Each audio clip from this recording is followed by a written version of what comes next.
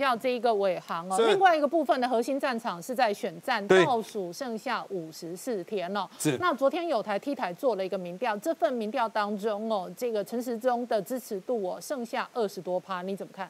好的，这一份民调如果属实的话，选举已经结束了啦。哈、说输成这样子，另外两家加起来勉强超过蒋万安，这个真的落差很大。嗯不过它也凸显一个格局，就是现在的领先集团也没有集团，就只有一个人领先，另外两个在下面分。那就我的了哎我们，先就数字看数字，这个数字哦 要做多少机构效应的校正回归？呃，我之前有说过了，就各位就把蓝的减五趴，绿的加五趴。那 黄珊珊算什么？黄珊珊他其实民进党内部的民调也显示，他也是差不多二三二四左右哦，没有什么太大的变化。即使黄国昌宣誓去顶他，也没有什么太大所以让你。微调，你的意思是说陈陈时中应该加五趴，蒋万安应该减五趴啊、？当然加五趴上去，其实民进党的是没有到二十七啦，稍微再低一点点啊，所以他们才会说跟黄珊珊大概是处于同同样，但是我们还是相对领先。黄珊珊。要注意他讲话啊，都很有技巧，嗯。啊，他就想说我还是领先集团，如果前面两个算一个集团，但他们也观察到，就是蒋万安至少在最近的这一个月有领先，明显领先三趴，虽然高低起伏有，这都牵涉到一个很现实的问题，不管有没有周玉蔻的这个要素，请问陈世忠在这一个月到底做了什么？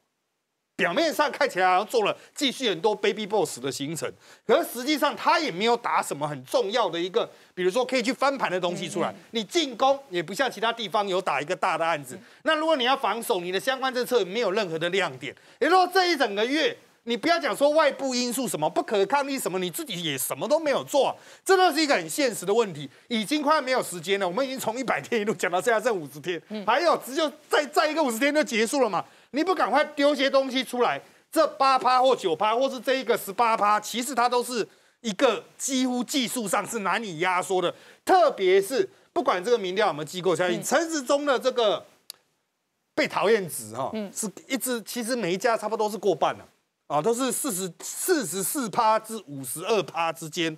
基本上你要对其他人，其他人都大概只有二十几趴而已，甚至他的喜好度都会到四十几趴。像黄珊珊是接近近半台北市民是喜欢他的，也就不只是不讨厌哦，是喜欢他的。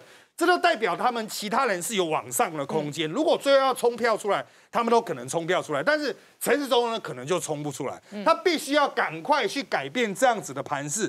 不过回归这个根本啊，哈，民进党自己手中到底握有多少呢？我去问民进党的，问到这个民调的时候，我问他说，接下来你们寄望谁？他们寄望韩国瑜哈哦，真的哦，又希望韩国瑜，韩国瑜今天要卖他的年历啊，哈 这个希望韩国瑜接受更多的访问，更多的站台助选，丢出更多的金句，让民进党有翻盘的资本。就是说韩国语来抵消 COCO 效应，对他们还是就其实自己就互没有牌，反动员。其实就是自己没有牌，就是说啊，希望天降神兵来救我。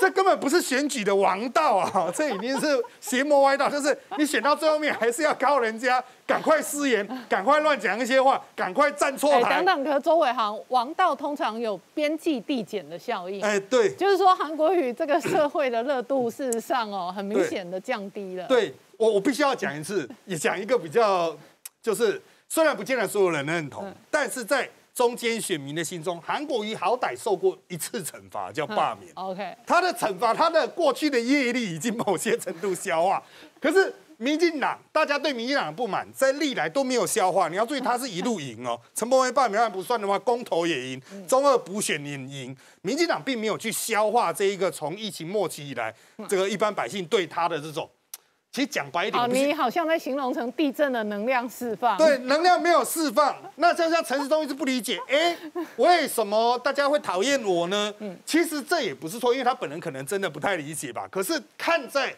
讨厌民进党的人嘴里，他就是用两个字形容，嗯叫做嘴脸。